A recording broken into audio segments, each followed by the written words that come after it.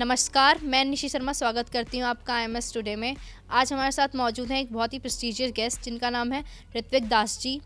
ये एक music producer and singer हैं। सर आपका बहुत बहुत स्वागत हमारे शो में आने के लिए। Thank you so much sir मेरा आपसे सवाल है आपको इतने साल बाद आने के बाद में आई में आपका एक्सपीरियंस कैसा रहा? एक्सपीरियंस uh, काफ़ी अच्छा रहा और uh, ऐसा लग रहा है कि मैं फिर से अपने कॉलेज डेज़ में वापस आ चुका हूँ और uh, जब देख रहा हूँ हाँ मैं अपने साथियों को मिस कर रहा हूँ, जो मेरे बैच के बैचमेट्स थे, उन लोगों को मिस कर रहा हूँ बट हाँ एक वो जो एंथुजियाज़म होता है, जो पल्स जब हो रहा होता है, जो कभी, जब भी कोई भी इवेंट हो रहा होता है तो वो एंथुजियाज़म आज भी वैसी बरकरार है और मैं मिस नहीं करना चाहूँगा, आगे भी कभी अगर मुझे मौका मिलता है आने का तो मैं ज़रूर यहाँ पे आके फिर से उन मेमोरीज़ को, उन पलों को जीना चाहता हूँ। सर, आपके म्यूज़िक में इंटरेस्ट कैसे जनरेट हुआ? म्यूज़िक में कैसे इंटरेस्ट जनरेट हुआ? मैं बंगाली फैमिली से आता हूँ बंगाली इसके ब्लड में ही म्यूज़िक होता है, ऐसा लोग कहते हैं। ठीक है तो वहाँ से चीज़ें थी।